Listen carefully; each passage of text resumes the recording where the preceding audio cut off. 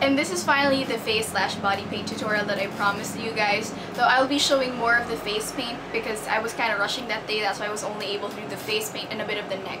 However, you can just apply the techniques that I will be showing you for the face to the rest of the body. Just a matter of, you know, doing it to the rest of your body.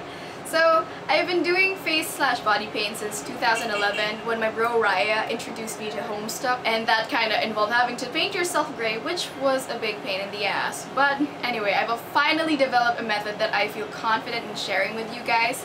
But I could not have developed this method without the help of Goregon SFX or Amadeo Beloved and Dinny Grayson, which you guys should totally check out because they're freaking talented. Without further ado, let's get on with this tutorial. First things first, you want a primer that will prolong the staying power of your paint. Your paint, I'm using Snazaroo because it's the easiest to come by here just by the National Bookstore. Some water, your makeup setting spray, your makeup sponges, baby powder of your choice, and hairspray of your choice. Step 1. Prime your face. You do this to lengthen the staying power of your paint. So just dot your primer all over your face, and using either your clean hands or clean brush, spread it evenly. Step 2. Set it all with some setting spray, again to lengthen the staying power. Now wet your sponge and stipple on your paint. Stipple it, don't spread it, because spreading it will cause a splotchy application, making it really uneven, and not to mention, as opposed to actually stippling it on, your skin won't absorb the paint as well. Now stipple it all over your face and areas like your nose, and your ears, and your chin, and actually everywhere else where your skin will be shown. Now I didn't paint everything here on the neck because I was kinda rushing that day so I'm sorry. Then set it all with some powder products. I prefer doing the contouring and the blush before actually powdering it with the baby powder because it makes it less cakey. But your choice, maybe you have oilier skin and you might need the more powder. Lastly, set it all with a buttload of hairspray. And I encourage you to go crazy so it sets like hell. And there you have it! You are now done and your paint is transfer free! Yay! And that's essentially how you do your face slash body paint.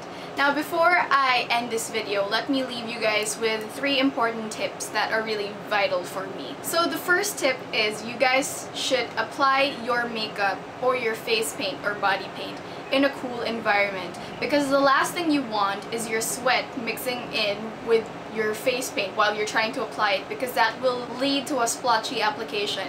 The second technique is try to apply your eye makeup first, especially if your face paint involves something that's really light in color or pastel color and especially if, it, if it's white because if your eye makeup is going to be dark and smoky that thing is going to fall off your face. Not to mention, if you do apply your, your face paint for and for the most part, on your eyelids, the texture of Snazaroo tends to be really emollient, meaning it's going to crease like hell. So just go with a regular primer and just do your eye makeup. And if you see little bits of, you know, skin, just gently dab it with face paint with maybe a q-tip so that you can really cover that area well. Third step, and the final one, which to me personally is the most important step, and that is to contour and to highlight. When you apply your face paint or your body paint, your features will be immensely flattened. That's why it's really important to ba add back the dimensions of your face. Now for contouring, just go 1 to 2 shades darker, or for highlighting, just go 1 to 2 shades lighter of the shade of your paint. Now for example, you go with white face paint. Don't go with black, that's gonna be harsh as hell.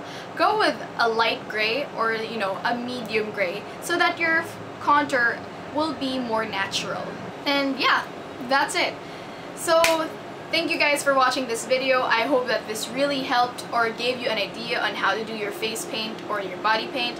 And I will see you guys in my next video. Mwah. That, look at it. Mwah.